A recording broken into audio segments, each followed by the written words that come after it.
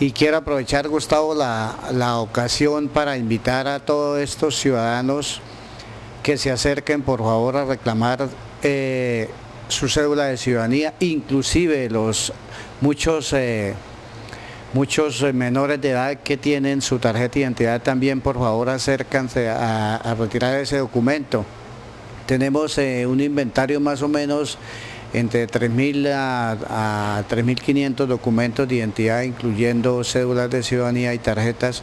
Entonces quiero aprovechar la oportunidad para que en este fin de año eh, se acerquen a reclamar esos documentos. Esos documentos no deben estar en nuestras oficinas, sino cada titular obviamente debe ser el, portador de esos documentos. Entonces reitero que, se acerquen en horarios de oficina, eh, la registraduría va a trabajar normalmente. Eh, aquí no, no hay, digamos, algún periodo de vacaciones que se cierre la, la oficina, sino se continúa en horario normal.